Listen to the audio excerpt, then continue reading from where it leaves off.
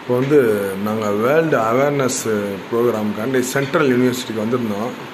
எப்போதுமே நாங்கள் ஏதாவது ஸ்கூல் டீச்சர்ஸ் வந்தால் அந்த ஸ்கூலில் ஏதாவது ஒரு ரூமை கொடுத்து வாய வச்சு தூங்குவோம். ஒரு ஃபைவ் ஸ்டார் ஹோட்டல் ரேஞ்சுக்கு பாருங்கள் அருமையாக cottage AC accommodation dressing table எல்லாம் பாத்ரூமு வேறு லெவல் டிவி டிவி உட்காந்து எழுதுகிற ரிட்டன் டேபிள் பாத்ரூமே எவ்வளோ லுக்காக இருக்குது பாருங்கள் நிறையா வாட்டர் ஹீட்ரு இதெல்லாம் நாங்கள் யூஸ் பண்ணல. ஏன்னா நம்ம வந்து உலகத்தை வந்து தூய்மையாக வச்சுக்கணும் அப்படிங்கிறதுக்காண்டி இயற்கையோடு வாழ்ந்துகிட்டு இருக்கோம். அதனால் ஏசியை கூட நாங்கள் யூஸ் பண்ணல.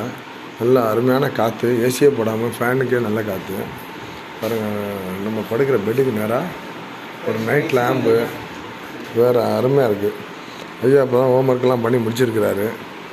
நல்லா சிறப்பாக இருக்கிறாரு. சரி இந்த பயிற்சிக்கு எனக்கு வாய்ப்பளித்த அனைவருக்கும் நன்றி தெரிவித்துக் கொள்கிறேன்.